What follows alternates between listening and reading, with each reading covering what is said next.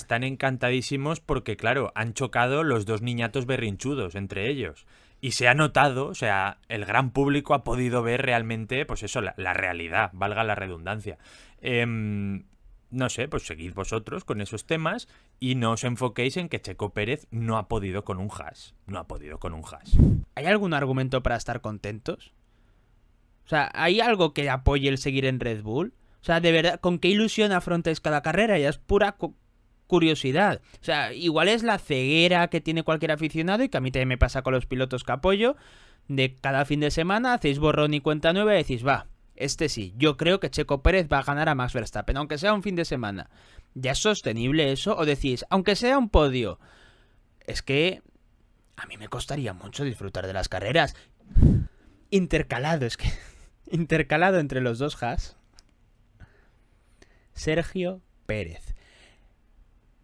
Situación del campeonato de pilotos ahora mismo. Primero Verstappen con 237, segundo Norris 156, tercero Leclerc, oportunidad desaprovechada, el Monegasco 150, cuarto Carlos Sainz con 135, quinto va Sergio Pérez con 118. Habrá que sacar también, después de Silverstone, la estadística, cuando Helmut Marco dijo, veremos en los tres próximos circuitos tradicionales cómo van las cosas. Habrá que ver cómo van los puntos, pero las dos carreritas ya que se ha marcado son tremendas. Quinto Pérez con 118, le vienen por atrás ya Piastri con 112, Russell con 111. Y suerte está teniendo de que Hamilton se está marcando también una temporadita curiosa, pero está ahí con 85 puntos que no es descabellado que con el primer coche, segundo coche de la parrilla, que Checo Pérez te va a quedar seguramente entre la quinta y la octava posición. Es que es una salvajada. Es que hoy ha quedado detrás de su compañero cuando su compañero ha tenido un accidente y una sanción de 10 segundos.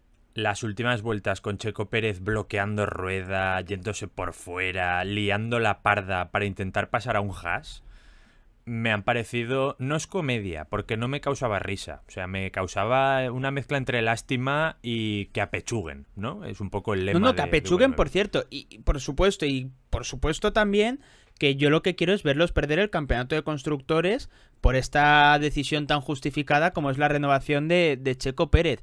Pero más cositas, más cosas que se han comentado.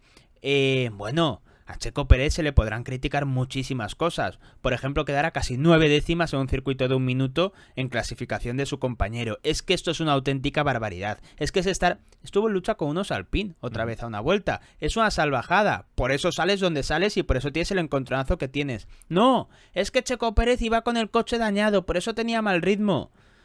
¿Quién provoca ese accidente? Que para mí, incluso por mucho que fuera primera vuelta, lo tendrían que haber sancionado. ¿Quién vuelve otra vez a expulsar a un tío en la curva 4? Lo de Checo Pérez con Piastri, aparte de que es reincidente, eh, me parece una sanción de manual. ¿eh? O sea, es que si eso no es echar de pista a un piloto, encima en un, en un, sitio tan comprometido, porque no es una escapatoria de asfalto que luego te reincorpores, es un sitio donde puedes perder el coche y perder 20 posiciones si quieres.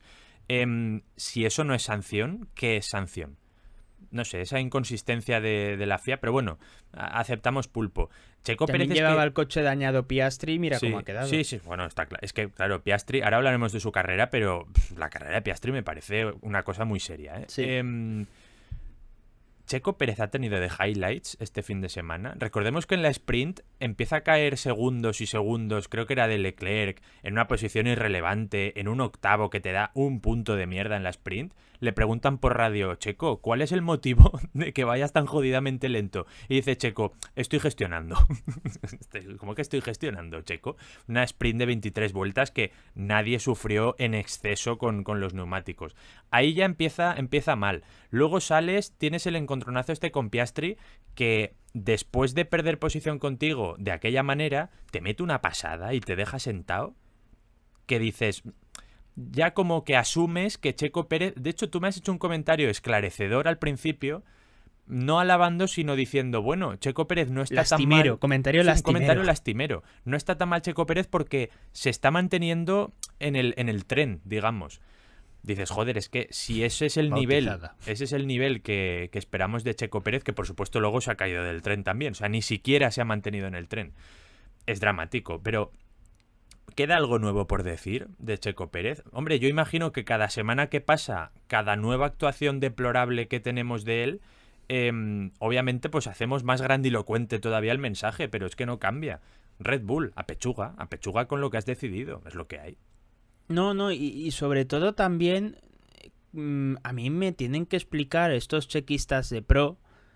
No estabais tan contentos con la renovación por Red Bull. Ahora lo sabotean, ahora es que le hacen unos malos reglajes. Si al final, si según tu Checo Pérez es tan bueno y con un coche hecho a su medida debe tener tan grandísimos resultados, antes tenías la excusa de es que con Red Bull aunque se hace podios, ahora ya no los hace, ahora lucha con un hash. Literalmente, según tu forma de pensar, que yo no comparto, tú me refiero a la audiencia, no a ti en particular. Sí, sí, sí.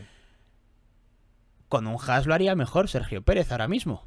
Según el marco teórico de los chequistas, porque como dentro de Red Bull los sabotean, pues nada, y luego además, otro problema que se está encontrando los chequistas, y que yo ya me veo que si no es en Silverstone será en siguientes grandes premios, es donde le ponemos el listón para considerar que Checo Pérez ha hecho una buena carrera. Porque yo me estoy viendo que cuando en unas puntuaciones y cuando le demos el premio piloto de excepción, que también es llamativo, ya no le damos el premio piloto de excepción. ¿Por qué? Porque esto no es decepcionante, esto es la norma. Quedar detrás de tu compañero a 17 segundos y que va a sacar otra vez a no sé, a un porrón de tiempo a una salvajada, quedar detrás de un hash es lo normal. Pero vamos, desde 2021, bueno, eso duró poco, pero vamos, para un chequista, primero para considerar una buena carrera de Checo Pérez, tenía que ganar. Eso, hasta ahí bien. Luego ya era quedar segundo justo detrás de Verstappen. Luego ya hacer podio. Luego ya luchar por podios.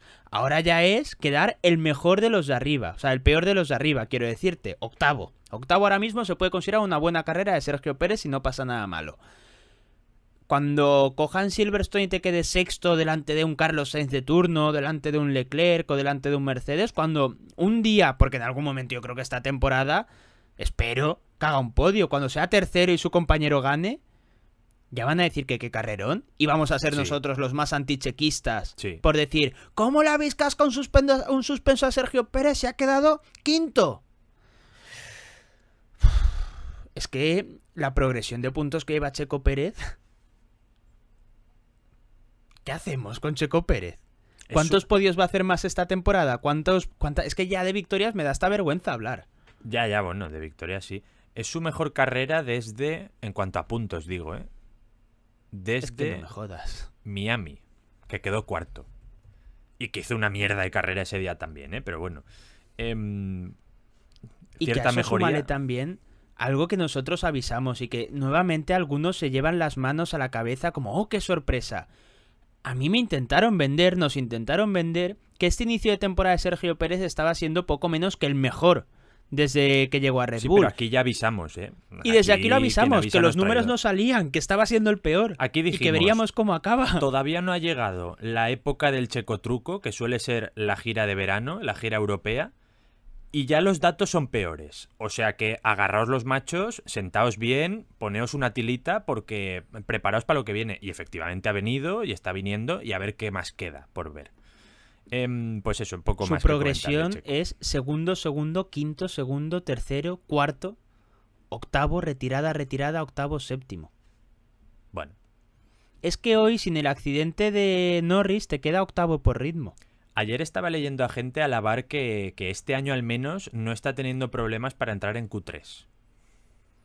de momento. No, no, es que... de momento no, problemas está teniendo. Otra cosa es que le esté saliendo de cara a la moneda y ya vayan varias veces de, hostia, pues mira, se ha salvado.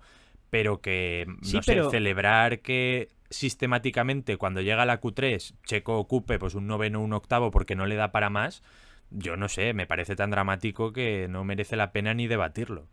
Pero es que igual que, por ejemplo, en el caso de Checo Pérez se le ha puesto más en chino luchar por el podio porque hay más equipos en esa batalla, también hay una realidad. Quizás desde 2020 es cuando más fácil es para esos equipos entrar en Q3. O sea, esa Fórmula 1.5 está muy alejada. A la que se te pusiera un Aston Martin al nivel, no te digo de 2023, del inicio de este año, Checo Pérez vuela. A la que al pin de lo que tiene que hacer, Checo Pérez vuela. Es que como resulte que pasa como el año anterior y para las últimas 7-8 carreras Visa Casab se pone un poquito las pilas y Alpine da un nivel mínimamente decente, ni te nombras Aston Martin. Aston Martin, venga, décimo equipo, qué malos son todos. Venga, genial. Que no huele, que no, que no huele este tío una, una Q3. Que es que está quedando octavo, pero no es que digas, ¡ay, qué lástima! Por cinco milésimas no ha quedado delante de Piastri. Es que a Piastri le dado una vuelta y aún así queda adelante. queda adelante, ¿eh? Es que no hay por dónde cogerlo. Lo cual me hace defender todavía más eso de que tampoco fue tan mediocre su, sábado. Eh, es insoportable lo, de Checo Pérez y... Mm, yo ya veo desde un punto de vista casi, bueno, casi no, cómico ha sido siempre estas cuentas, el Tello de turno que sale a defenderlo. Hoy están celebrando que Max Verstappen ha quedado quinto. Hoy eh, Tello, claro, hoy los Tellos de la vida están encantadísimos porque, claro, han chocado los dos niñatos berrinchudos entre ellos. Y se ha notado, o sea, el gran público ha podido ver realmente, pues eso, la, realidad, valga la redundancia. Eh, no sé, pues seguid vosotros con esos temas y no os enfoquéis en que Checo Pérez no ha podido con un hash. No ha podido con un hash. Pero aquí, y yo sé que nos escuchan chequistas, sí que es verdad que justamente los que nos escuchan, quizás en esto están de acuerdo y no son representativos de la pregunta que voy a hacer. ¿Vosotros disfrutáis de ver a este Checo Pérez? ¿No preferiríais verlo en Audi, verlo en Alpine, verlo en un coche de zona media, media baja, luchando por, por al final por lo que está luchando, rascar alguna Q3 y meterse en puntos. No, no os gustaría más. Y luego, a todos los que son chequistas, super chequistas, y que los malos somos los españoles y que les robamos el oro. Si os sabotean, si el equipo va en vuestra contra, si el niñato berrinchudo está haciendo que Sergio Pérez viva experiencias malísimas, si le dan a los peores ingenieros, si todo eso ¿por qué os gusta verlo en Red Bull? Si os ocurre algún argumento más allá de repetir, pues os jodéis que... Es que luego encima pongo unos ejemplos que yo digo, joder, salen y te dicen, al final Carlos Sainz va a pilotar para Globo. Hostia, mm. poner, poner otros ejemplos, macho, que las ponéis votando, que me toca morderme ahí con el dedo cada vez. No lo digas, no lo digas, Manuel, es una trampa. Sí, sí. Eh, más allá de que es que no viene ni al caso Fernando Alonso que está fatal, su equipo, o Carlos Sainz que quizás va a, a un equipo casi sin el quizás de zona baja, sin pensar en el español de turno, que ya parecéis los políticos, ¿hay algún argumento para estar contentos?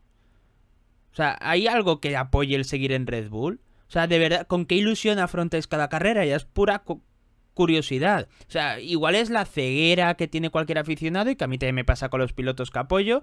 De cada fin de semana hacéis borrón y cuenta nueva y decís, va, este sí, yo creo que Checo Pérez va a ganar a Max Verstappen, aunque sea un fin de semana. ¿Ya es sostenible eso? O decís, aunque sea un podio. Es que a mí me costaría mucho disfrutar de las carreras.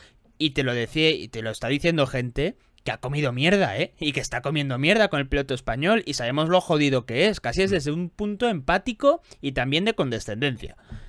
Eh, ¿Qué coñazo vivir así? Qué, qué auténtico coñazo. Pero bueno, si os gusta. Pues eso, séptima posición para Checo Pérez.